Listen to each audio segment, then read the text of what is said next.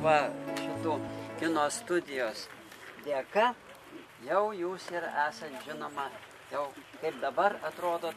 Noriu pasisveikinti.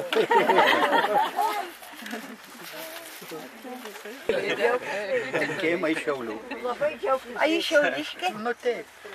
Tai kodėl aš jūsų nepažįstu? O kodėl aš jumis pažįstu?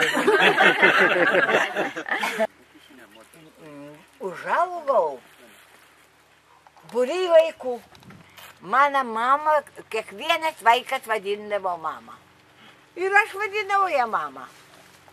Manydama, kad aš toks pat vaikas kaip jie. Su, tik viena išimti buvo, kad mano tėvas skaitėsi mano tėvos, visų vaikų nebuvo. Mano visų vaikų, bet tėvas mano.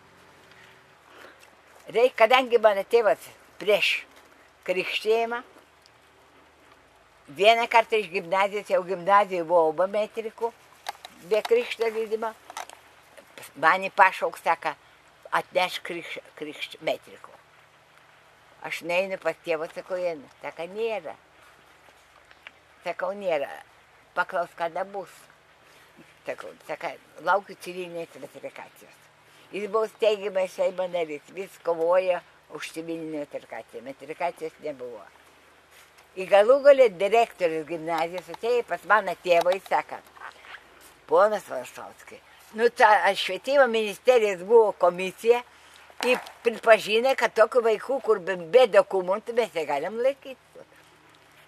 Tėvas susirūpinęs, atein vidūnas, tuo laiku viešėjai pas mano mamą, iš profesijos buvo aktorė.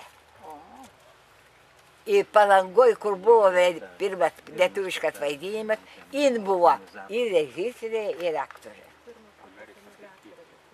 Tai mama, tada, reiškia, jau nudžiugo, kad vidun sutiko pakalbėti su tėvu. Sako, aš būsiu krikštą tėvu, aš ne katalikas. Tai sakai, jau tas jums tas svers biški. Prie vidūno kapo gražbylė Venslauskaitė akimirkai sustingsta, tarsi sugrįžta į vaikystę, į susitikimą su vidūnu.